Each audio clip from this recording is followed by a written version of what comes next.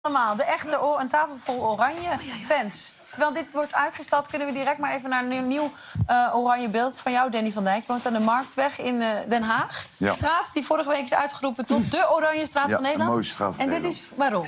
Oké. Dit is een kleine mini-documentaire die ik zelf even voor jullie maak. Voor het programma op één. Kijk. Het hangt echt helemaal van onder tot boven is ingepakt.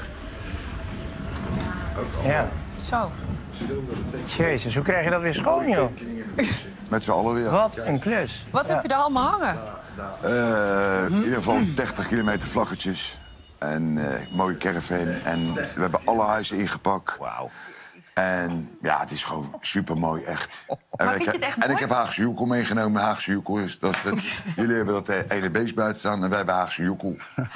Maar je zegt mooi, vind je het echt mooi? Ja, ik vind het echt mooi. Echt. Ja? Je ziet echt alle mensen op, opbeuren. Er mensen met een ja, zagrijnig gezicht. Begin van de straat en midden van de straat. Hup, glimlach erop. Oh, is dat het? Is dat het echt. gevoel ja, En erbij? het samenhorigheid gewoon. Dat hebben we gewoon even nodig na deze tijd. Ja. En, en, en hoe lang ben je dan voor zoiets aan het bouwen? We zijn vijf weken bezig.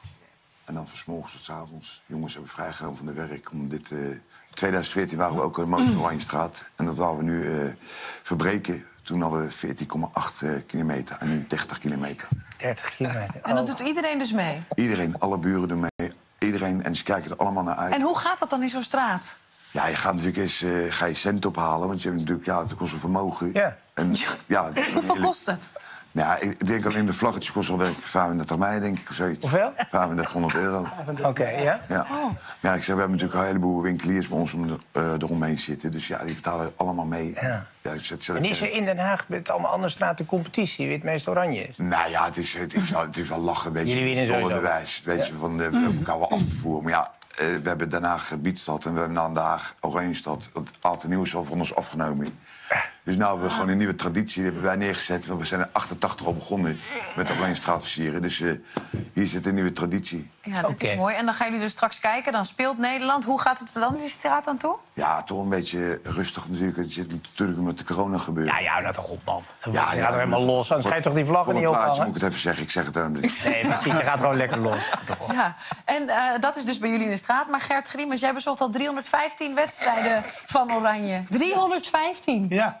En dan neem je altijd een speciaal attribuut mee, hè? Ja, nou dit is de kleine versie. Van de grote die kan hier helaas niet op de tafel. Die is 9 meter. Ja, die hebben we straks in de gang hangen, volgens mij. Oké. Ja, dus die kunnen mensen dan, Ja, dan nou, zien. dit, dit is de kleine versie. Ja. En volgens mij hebben we ook wel beeld waar je in actie komt. Waar je eigenlijk op allemaal beroemde wedstrijden zie je je vlag terugkomen, toch? Ja, Ja. ja. Die gaat eh, overal mee naartoe. In binnenland en buitenland. Alle wedstrijden. eh, Maar 305, waar ben je allemaal geweest? Ja, overal dus eigenlijk. Ja, overal. Heb je er één gemist? Of heb je ze gewoon allemaal... Jawel, nee, nee, nee. Ik heb, ik heb natuurlijk heel veel gemist. Maar eh, de laatste 25 jaar eigenlijk eh, heel weinig gem- gemist. De laatste toernooien allemaal meegemaakt.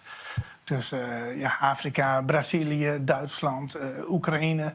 eh, Nederland zelf natuurlijk. Hè, in 2000 met EK. En dat Wat was, hebben we wat nu was weer. het meest heftige moment? Welke wedstrijd zeg je nou, dat was hem? Mijn moment. Nou, het meest heftige moment, ehm er was plezier en verdriet. Dat wil ik toch even benoemen. Dat was vijf- 13 november 2015. Ik heb net een shirt gekregen van eh Daily Blind als speler. Daar ben je natuurlijk trots op. Die krijg je een shirt van, eh van Nederland zelf te spelen. Maar we waren het stadion nog niet uit en dan hoorden we het verschrikkelijk bericht van Parijs. Die aanslag toen in Parijs. Ah, ja. Dus eh, verdriet en vreugde eh, ligt heel dicht bij elkaar natuurlijk. Ja. Dat is ook zo.